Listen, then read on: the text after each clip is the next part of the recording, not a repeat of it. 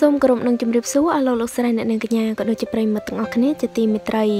ញាក់សាច់តែម្ដងក្រោយដឹងពីការចំណាយសរុបពិធីមង្គលការយកមិញរបស់នីរតនាម្ចាស់ពៀន Cambodian Idol រដូវកាលទី1កាលពីឆ្នាំ2016នេះបន្ទាប់ពីនីរតនានិងភក្ណា បានភ្ជាប់ពាក្យកាលពីថ្ងៃទី27ខែមេសាឆ្នាំ2018 ថ្ងៃជ័យរបស់ម្ចាស់បាត់នារីក្នុងសុបិនបង គឺជាអូន បានរំកិលមកដល់ហើយដោយព្រឹកថ្ងៃទី18ខែមករាឆ្នាំ2019មានការចូលរួមយ៉ាងច្រើនកកកពីសំណាក់តារាចម្រៀងតារាសម្ដែងក៏ដូចជាពិធីករពិធីការនីយ៉ាងច្រើនកកកចាំផលិតកម្មហងមេនិងកូនស្រីអ្នកជំនួញធំរូបនេះទាំងផ្កាភ្ញីរៀបចំនៅមុខរោងនិងគ្រឿងរណ្ដាប់ផ្សេងៗសុទ្ធតែប្រណិតប្រណិតដោយមានការចំណាយប្រាក់អស់ច្រើនម៉ឺនដុល្លារ កម្មវិធីនេះប្រព្រឹត្តឡើង នៅមជ្ឈមណ្ឌល The Premier Center សានសុករាជធានីភ្នំពេញដោយមានតារាសិល្បៈរួមអាជីពជាច្រើន បានចូលរួមអបអរសាទរប្រភពបានឲ្យដឹងថាគ្រាន់តែការចំណាយទៅលើម្ហូប120តុកនោះមិនក្រោម30000ដុល្លារឡើយខណៈដែលការចំណាយលើសម្អាងការនិងតុបតែងផ្កាជាង10000ដុល្លារនិងការថតរូបអស់ជាង5000ដុល្លាររួមទាំងការជួលអាគារ D និង E អស់ប្រាក់ជាច្រើនពាន់ដុល្លារថែមទៀតផងហេតុនេះហើយសរុបគឺក្បែរ100,000ដុល្លារអ្វីដែលគួរឲ្យចាប់អារម្មណ៍នោះមង្គលការរបស់នីរតនាជាមួយនឹងកូនស្រីអ្នកជំនួញធំត្រូវបានលោកហេងសវណ្ណដែលជាម្ចាស់វិសុនិងហាងមង្គលសវណ្ណនោះត្រូវបានគេប្រមាណថា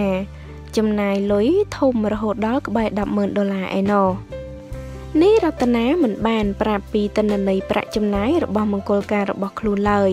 ដោយគ្រាន់តែអះអាងថាពិតជាអស់ទឹកប្រាក់ច្រើនសន្ធឹកសន្ធាប់មែនអ្នកចម្រៀងផលិតកម្មរស្មីហងមាសរូបនេះប្រាប់ថា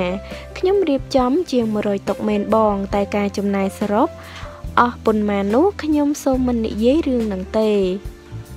ក្រោយការហើយខ្ញុំវិលចូលសិល្បៈភ្លាមភ្លាមមិនមានការសម្រាកយូរទេព្រោះមិនអាចចូលការងារបាន ចំពោះភ្ញៀវជាអ្នកសិល្បៈវិញខ្ញុំបានហៅច្រើនដែរគឺតារាហងមាសទាំងអស់និងតារាចម្រៀងនៅផលិតកម្មផ្សេងផ្សេងទៀតដែលរាប់អានគ្នាប៉ុន្តែមិនដឹងថា មកបានប៉ុន្មានទេ ព្រោះថ្ងៃសុកអញ្ចឹងភាកច្រើនពួកគាត់ជាប់ច្រៀងតាមឆាកដែរតាមព័ត៌មានឲ្យដឹងដែរថា នីរតនាបានជូនថ្លៃទឹកដោះទៅខាងស្រីជាច្រើនម៉ឺនដុល្លារណាស់ហើយរូបគេបានបដូរពីការជិះរថយន្ត Toyota Pro មកជិះ Lexus LX 350តម្លៃ77,000ដុល្លារផងដែរ ដោយឡែកការចំណាយលុយធំរៀបការអស់ជិត100000ដុល្លារនេះត្រូវបានក្រុមគ្រួសារទាំងសងខាងឲ្យដឹងថាដើម្បីឲ្យស័ក្តិសមទៅនឹងកិត្តិយសម្ចាស់ពៀន Cambodian Idol រដូវកាលដំបូងរបស់ក្រុមហ៊ុនហងមាសនិងកូនស្រីលោកហេងសវណ្ណដែលជា អ្នកមានទ្រព្យស្ដុកផងដែរ ចាគឺពិតជាមិនធម្មតានោះទេ ការចំណាយនៅក្នុងពិធីរៀបមង្គលការរបស់នីរតនាអស់ជាង100000ដុល្លារឯណោះដែលនេះសរុបទាំងការចំណាយទាំងមូលក្នុងពិធីអាពាហ៍ពិពាហ៍នេះផងដែរមានការចូលរួមពីសំណាក់តារាល្បីៗសឹងតែទូទាំងព្រះរាជាណាចក្រកម្ពុជាតែម្ដង ជាពិសេសតារាហុងមាសតែម្ដង ក្នុងពិធីរៀបអាពាហ៍ពិពាហ៍នេះផងដែរយើងសង្កេតឃើញថា តាំងពីកម្មវិធីចូលរោងហើយចំនួនការសក់ក៏ដូចជាផ្ទឹមចងដៃរហូតដល់ការទទួលភ្ញៀវពេលល្ងាចទៀតសុទ្ធសឹងតែមានទស្សនវិជ្ជាគួរឲ្យចាប់អារម្មណ៍ទាំងអស់តែម្ដង គឺស្រស់ស្អាតនិងប្លែកភ្នែកទាំងអស់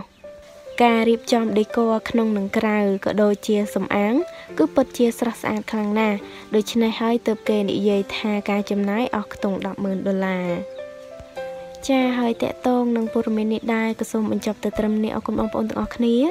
កុំភ្លេចចុច Subscribe និងរូបកណ្ដឹងដើម្បីទទួលបានព័ត៌មានថ្មីៗជាបន្តទៀតសូមអរគុណសូមគោរពលា